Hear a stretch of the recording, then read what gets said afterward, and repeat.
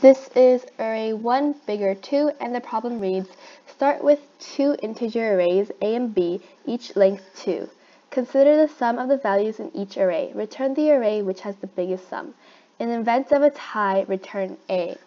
So for this first example, the output is 3, 4 because the sum of 3, 4 is greater than the sum of 1, 2. So for this problem, I'm going to create a couple of variables.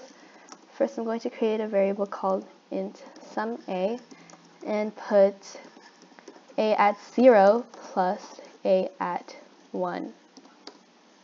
And I'm going to create int sum b and put in the sum of all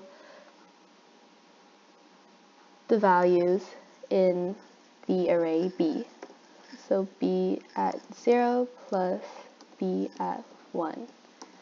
Now we want to first create the case of when it's a tie. So if sum a equal equal sum b, then return a. Else if sum a is greater than sum b,